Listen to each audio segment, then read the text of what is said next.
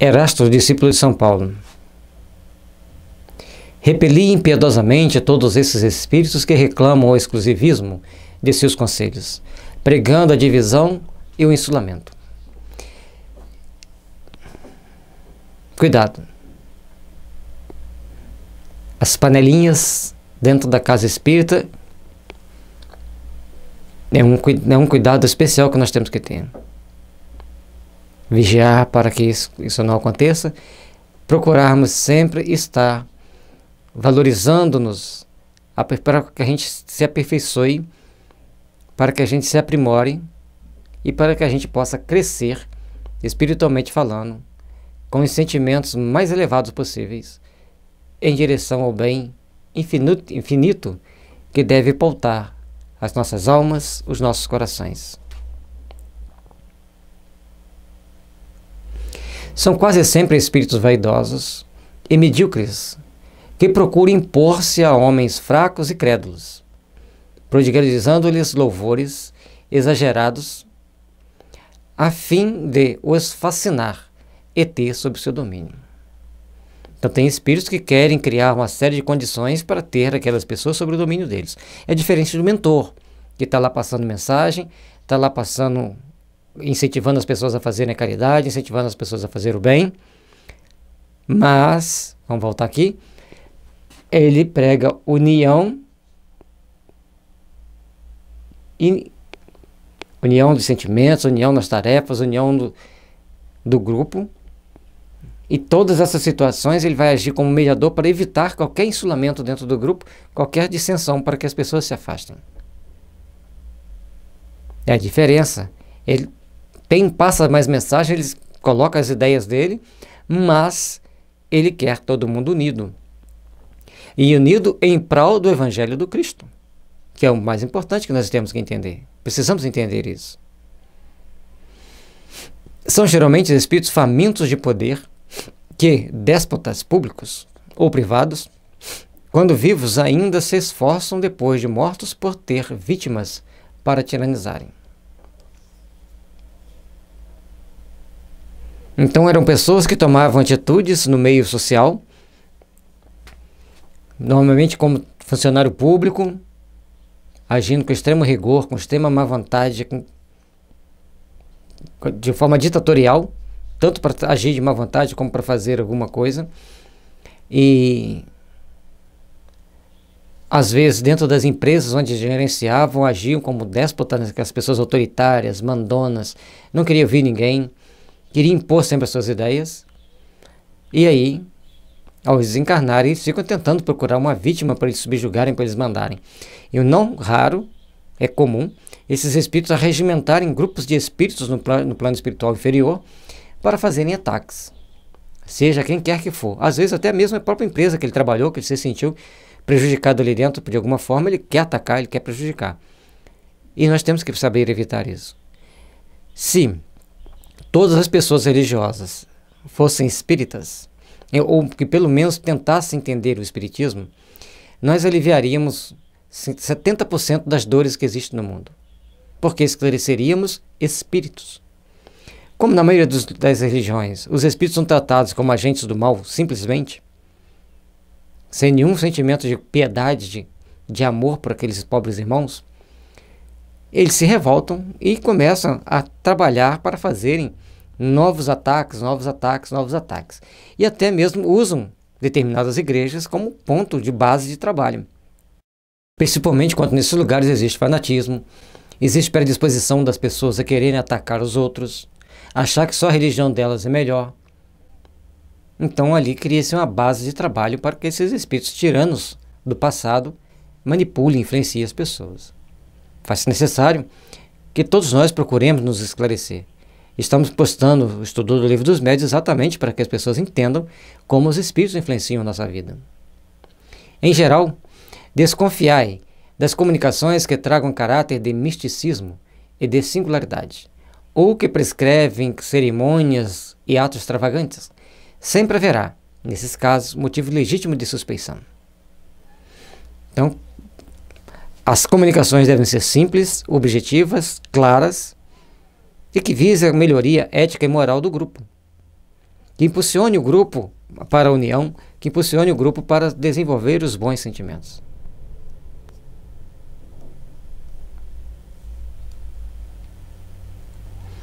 Por outro lado, crede que, quando uma verdade tenha de ser revelada aos homens, ela é comunicada, por assim dizer, instantaneamente a todos os grupos sérios que disponham de médiums sérios, e não a tais ou quais, com exclusão de todos os outros.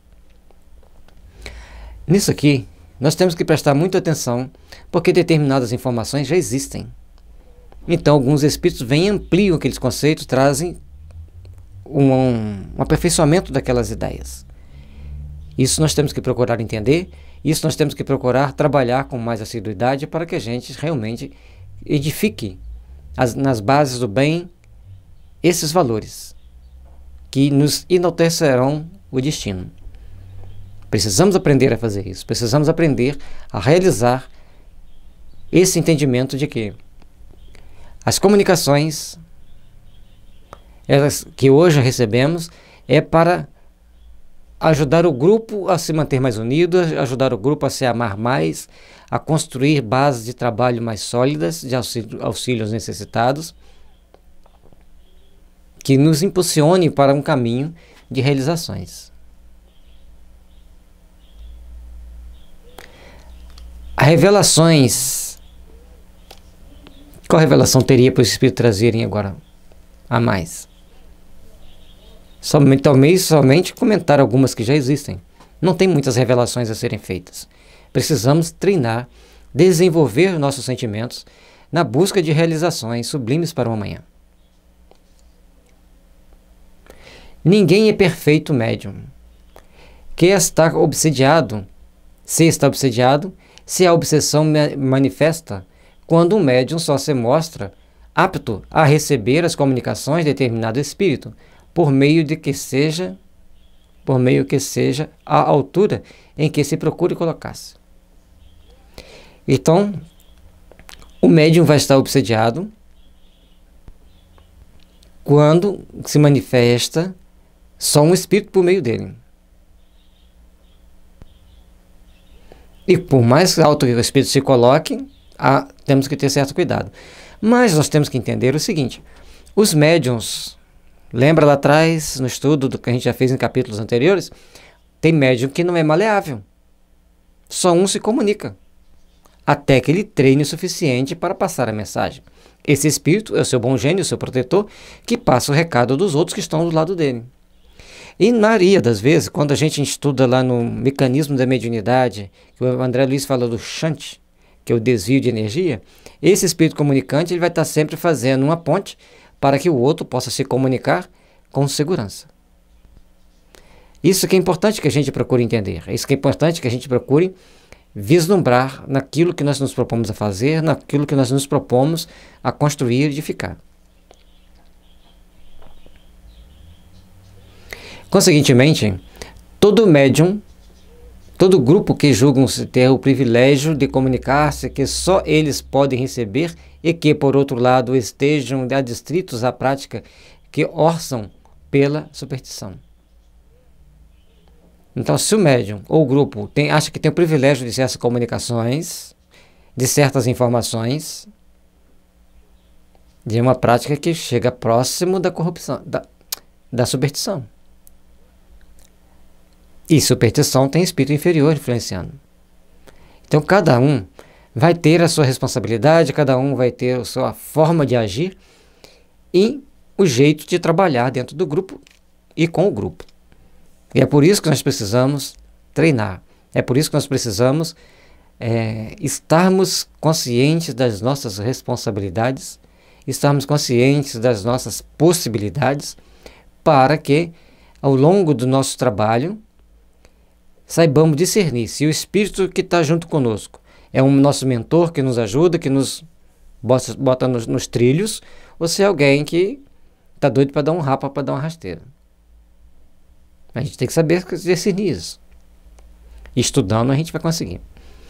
Indubitavelmente, se acham sobre o guante de uma das obsessões mais bem caracterizadas, sobretudo quando o espírito dominador se pavoneia com um nome que todos, espíritos encarnados, devem honrar e respeitar, e não consentir seja profanado a qualquer propósito. Então, quando começa a questão de eu sou tal, eu sou Paulo de Tarso, eu sou Maria de Nazaré, eu sou Bezerra de Menezes, e aí começa a criar uma série de ações e induções das pessoas que na hora que as pessoas percebem, eles já estão caindo nas tramas da obsessão. E às vezes tem outras táticas. O Espírito diz que uma criança que morreu jovem, que ele trabalha amparando crianças. Que ali na casa ele traz um monte de crianças. Aí ele sempre vem, passa mensagem, passa mensagem, sempre falando aquilo ali. Só que ele vai criando vínculos com as pessoas, com aquelas ideias, principalmente das mulheres, porque é uma criança, as mulheres ficam mais receptivas e, a partir dali, dissemina uma série de ações que vão levar as pessoas a se arrepender depois. Então, sempre é importante estar vigilante. Não existe uma fórmula concreta, é assim. O que existe é um conjunto de situações que tem que ser avaliado, bem avaliado.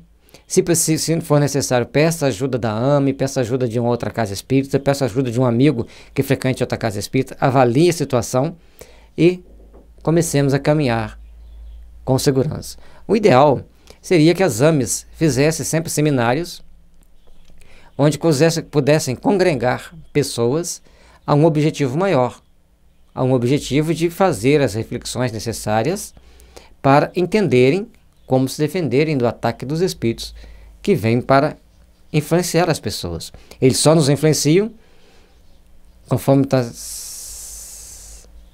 Não vou lembrar o número agora da, do tópico, mas eles só nos influenciam porque nós temos em nossa estrutura psíquica, condições de oferecer guarida, para oferecer sintonia com esses espíritos. E se você for no, no site kardecespiritismo.com.br, vai Espiritismos em Fotos e Imagens, aí vai estar em azul a parte que fala sobre esse conteúdo de cada médium e aquilo que os espíritos recebem, que, que os espíritos usam para manipular o grupo e manipular o médium, ou para proteger o grupo e proteger o médium. É o conteúdo interno de cada um que vai garantir a sua segurança. Portanto, faz necessária a reforma íntima, a reforma moral, uma reforma ética, para que a gente saiba agir com discernimento e responsabilidade.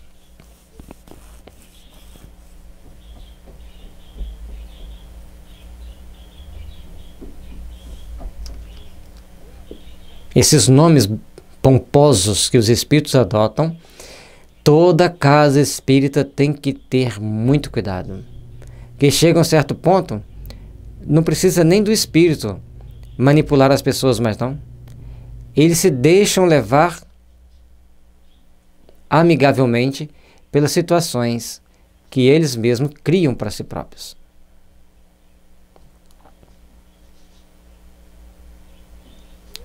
É incontestável que submetendo ao cadinho da razão e da lógica todos os dados e todas as comunicações dos espíritos, fácil será descobrir-se o absurdo e o erro.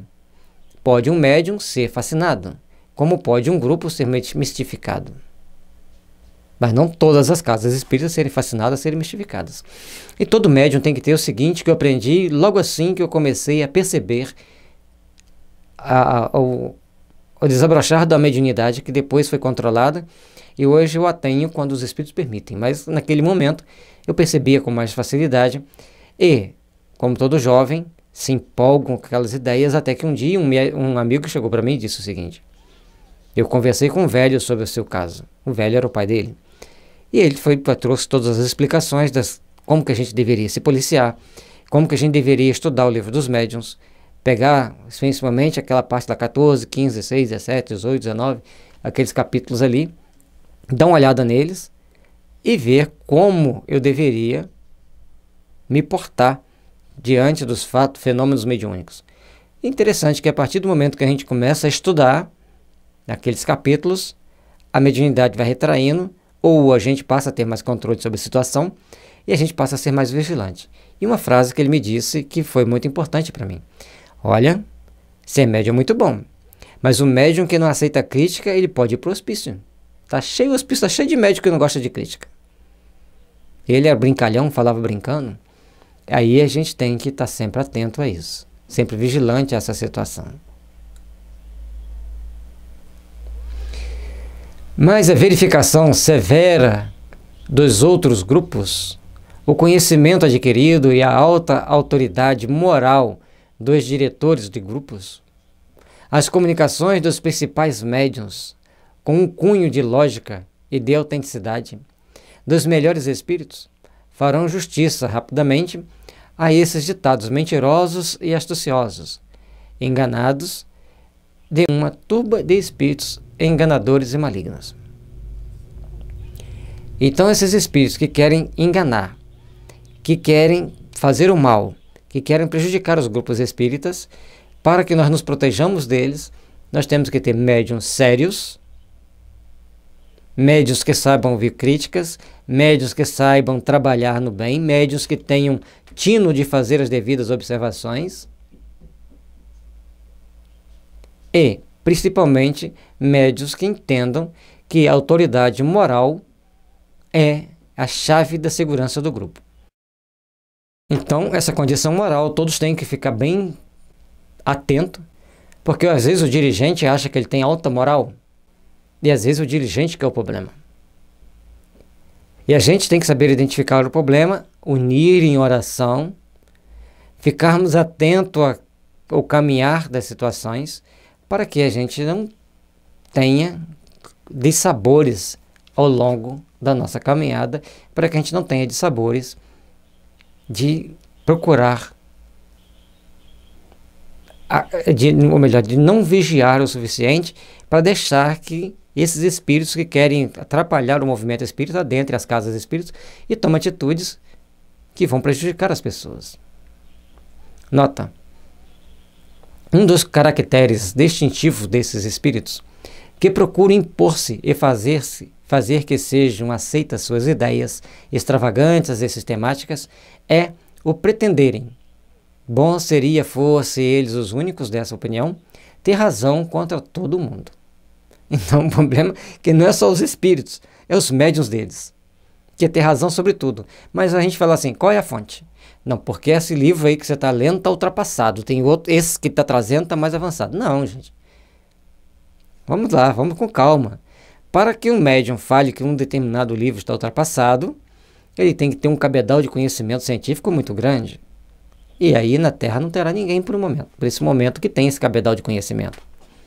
E aí é que nós temos que ver que temos que agir com responsabilidade, com segurança, com amor pela doutrina espírita para buscarmos ali com jeitinho, mexendo no daio da sintonia do grupo, ver o que é melhor para que todos possam fazer.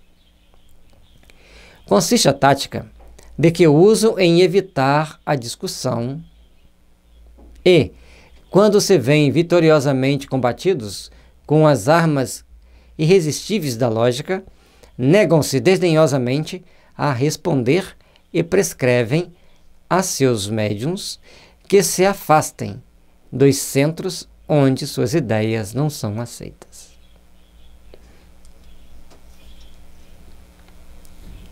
Aí, esse detalhe é importante. É uma forma importante da gente combater a ação desses espíritos maus, que é essa lógica dos fatos. Se você contrapor com a lógica dos fatos, aí o espírito ou ele vai sair para ir para outro local onde aceitam as ideias dele, e normalmente esses médios vão ficar pulando de casa em casa, pulando de casa em casa, não se, não se enraizam numa casa, e as ideias não batem com o que ensina a doutrina espírita. Aí ele arruma um subterfúgio. Ah, mas. E aí vem uma série de explicações que não condizem com aqui. E aí é, e que vai fazer com que ele se perca nos objetivos principais, que é trabalhar para ajudar o próximo, que é trabalhar para fazer o melhor.